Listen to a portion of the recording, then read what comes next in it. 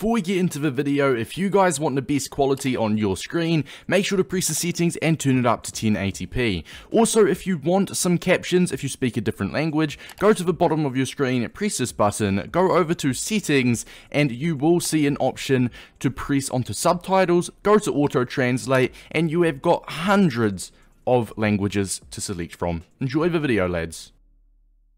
Right lads, so EA have released Summer Swaps 2 tokens milestones again. As I said in my how to get and use Summer Swaps 2 tokens video, I said they will be releasing milestones like they did during the first Summer Swaps tokens batch, and they are indeed doing that. Last time we got 4 sets of these with up to 8 tokens for grabs every single time. Lads, before we get into the video, make sure to drop a like and subscribe. Check me out on all my socials in the description as well, my Twitter, Twitch, and TikTok, and let's get into the video.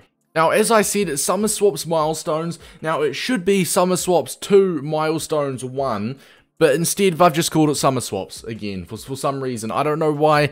I feel like we're going to update the name of this objective later once again, but kind of lacking a little bit because you are competing for Summer Swaps 2 tokens and it is the first batch of many of these milestones to come. So I'm not sure why EA failed to clarify that. But anyway, it is Tuesday, New Zealand, and I believe every single Tuesday morning, New Zealand, EA release these milestones anyway, um, or Monday evening in the UK. Without further ado, boys, at least get into it. You can play up to or win up to 8 squad battle games in return for 4 tokens and you can win 8 games online in return for 4 tokens as well. So 16 games for up to, and this is a very, very, very good deal from EA in my opinion, for up to 8 Summer Swaps tokens. So first of all, you've got win 4 squad battle matches on at least professional. They have made this difficulty from world class to professional. They did this for the very last batch of the Summer Swaps milestones as well, so making it only professional difficulty is very nice. With 11 Belgian players in your squad, you also get an 84 plus player pick along with your two Summer Swaps 2 tokens.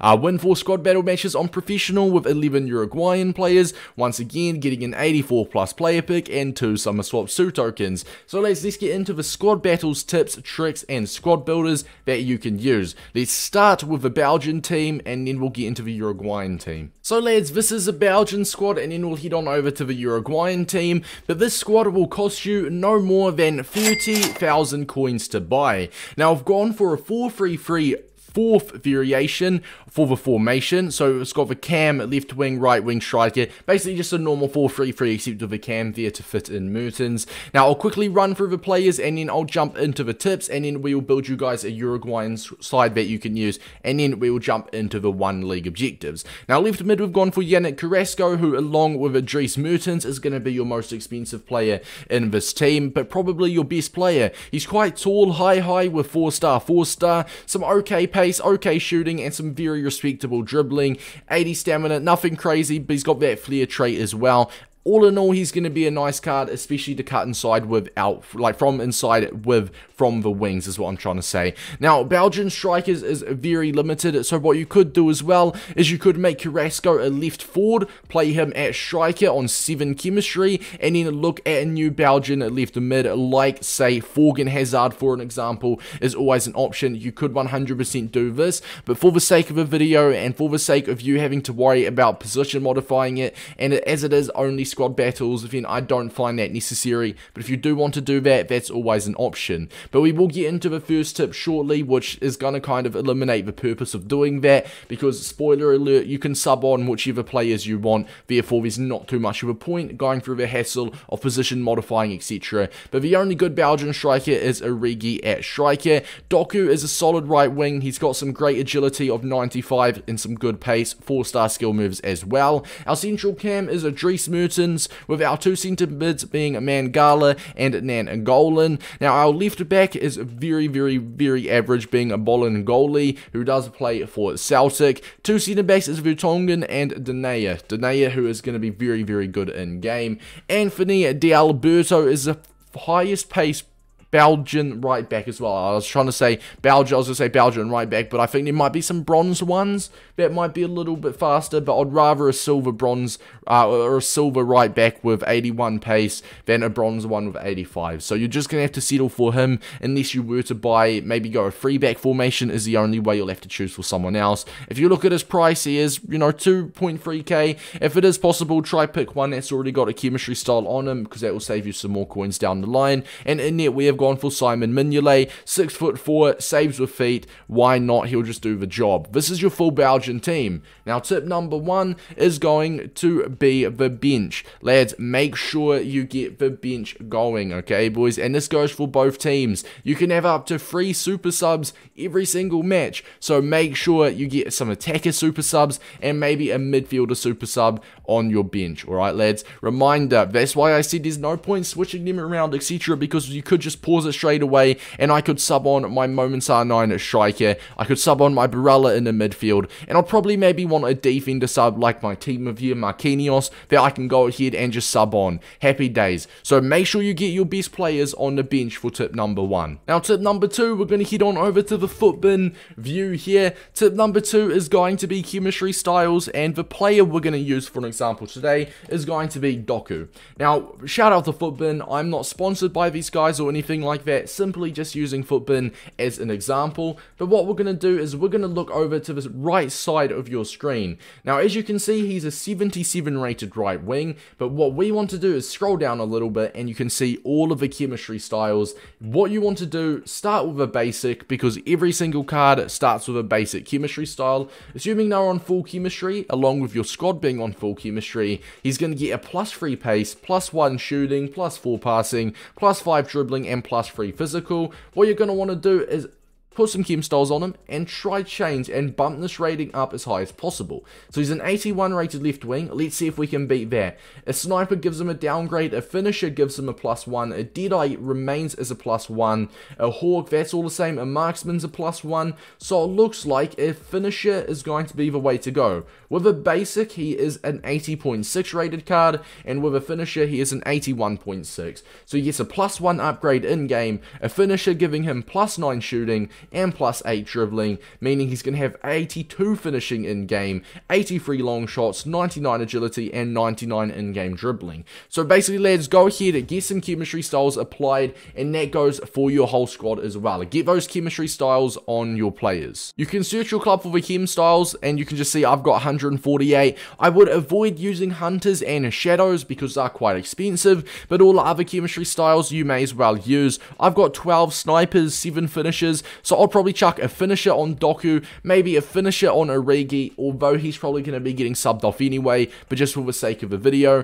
For midfielders, I might want to chuck some engines, some guardians, or backbones on the defense, and it just gives them that little boost in game, especially considering you're only allowed three subs. That means you're going to have another seven players, obviously not counting the keeper, on the pitch. You're going to have seven outfield players after making your free subs. So with those seven outfield players, having that chemistry boost can be quite important. Now, this is a Uruguayan team, and we'll get into tip number three. Tip one being the bench, tip two being the chemistry styles. I'm going to go over this Uruguayan team. This one will cost you no more than 25,000 coins. Now, it is a lot more of an average team because Uruguay, especially their right back, left back, and their right mid, they are lacking in those positions quite a bit. But let's quickly just go through it. Left striker is Jonathan Rodrigo, Rodriguez, along with Darwin Nunez. Up top, Lozano, the Uruguayan Lozano Lozano being Brian Lozano, 75 rated at left mid, Valverde being our best player, and Bentancur are running the midfield, with Tabo being our right mid. The only other right mid that is better than this card or higher rated is a gold card, and he's got like 77 pace, but I want pace on the wings personally, so I'm going to downgrade the rating and the shooting stat a little bit and change that for some pace. Therefore, I think Christian Tabo is a better option. Left back, only 82 pace is your highest, but it is Matthias Vina. I think it's Ronald Arejo, is that how you pronounce it? I've probably completely butchered that. But 77 pace, and he'll do the job. He's an absolute monster. Now, the right centre back is the second fastest Uruguayan centre back behind big old Ronald over here. Now, Sebastian Kakade, uh, yeah, I, yeah, I've got to butcher that one as well, aren't I? Let's just call him Sebastian, alright? Medium high, he's got some okay pace, okay defending. Sure, he's a silver, but close enough to a gold. Now, Suarez at right back, 73 paces lacking. I think this is the second fastest Uruguayan right back, for second being 74 pace. So once again, it is lacking a little bit. In net, we have gone for Muslera as well, the highest rated Uruguayan goalkeeper. Rushes out of goal in 6 foot 3, he will do the job. The exact same thing goes for when I built the Belgium squad. Make sure to keep use of your free super subs. In fact, I would sub on, probably this time round, I would sub on a wide player, like a winger, probably a striker, and I actually think the midfield is respectable. You know, Valverde and Bentancur as a midfield two can work.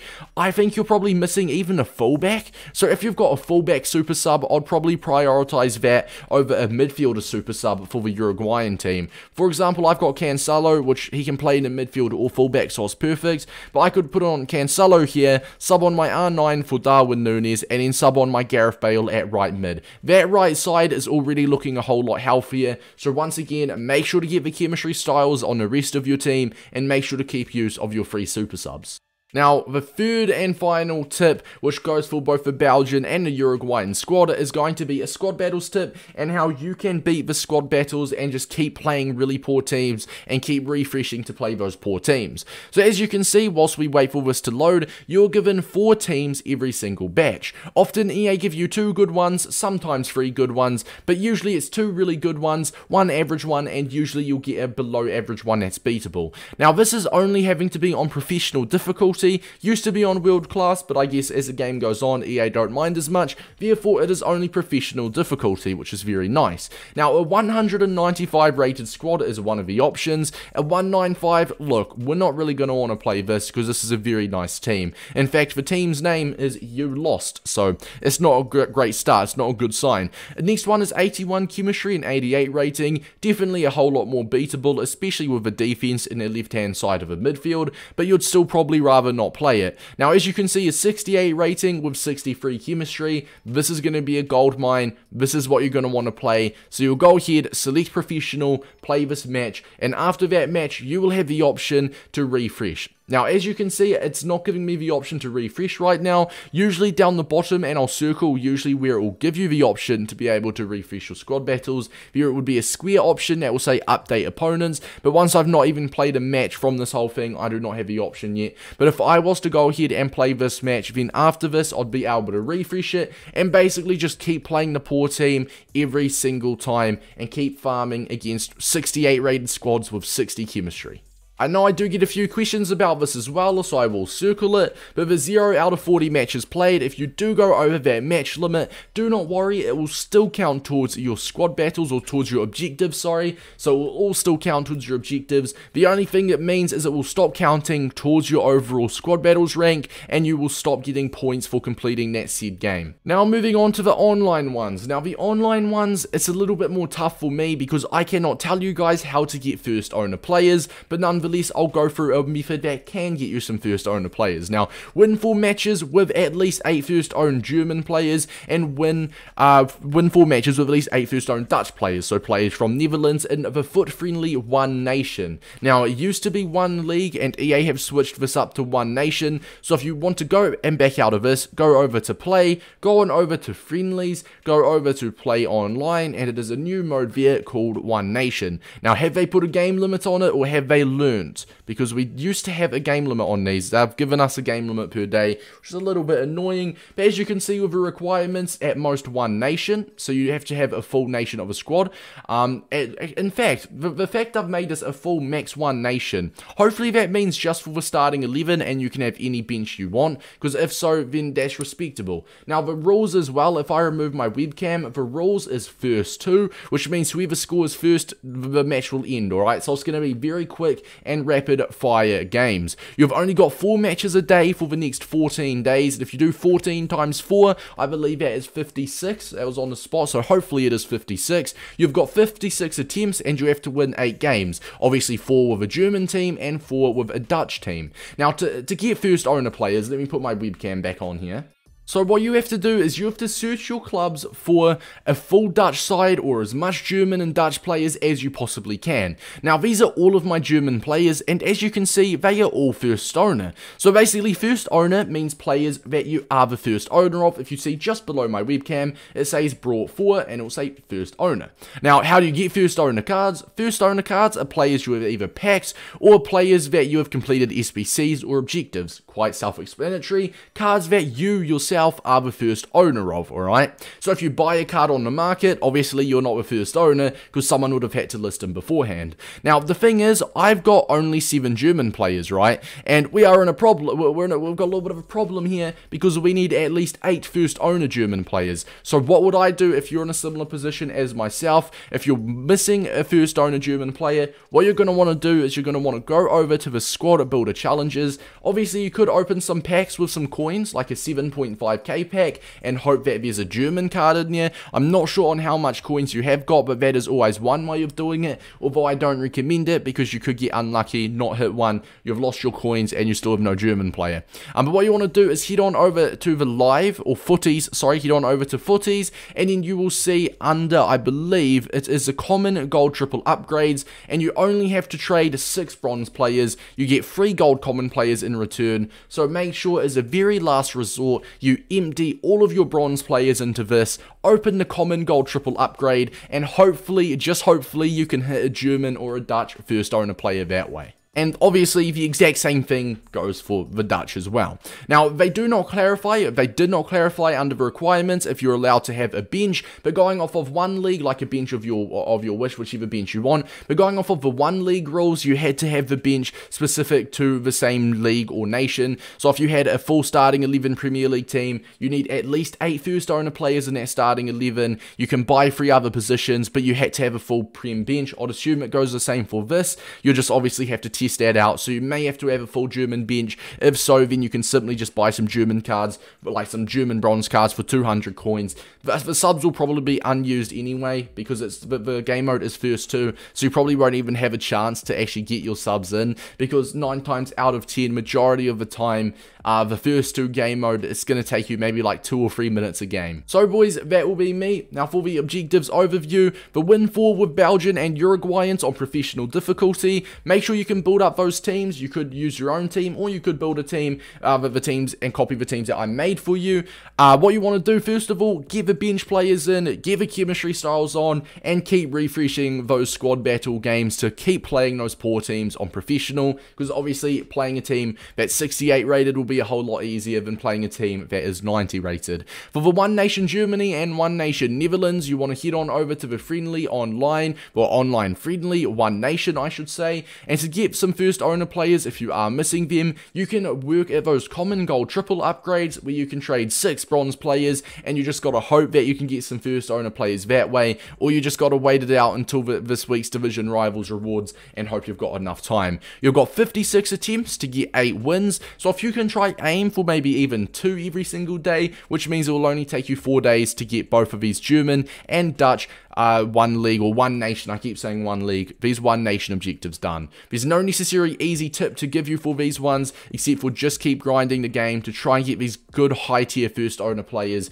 and if it does come to it, then you can always go ahead and do the common gold upgrades under the SBC Futties section. Much love lads, any questions, make sure let me know, and I'll see you boys in the next video.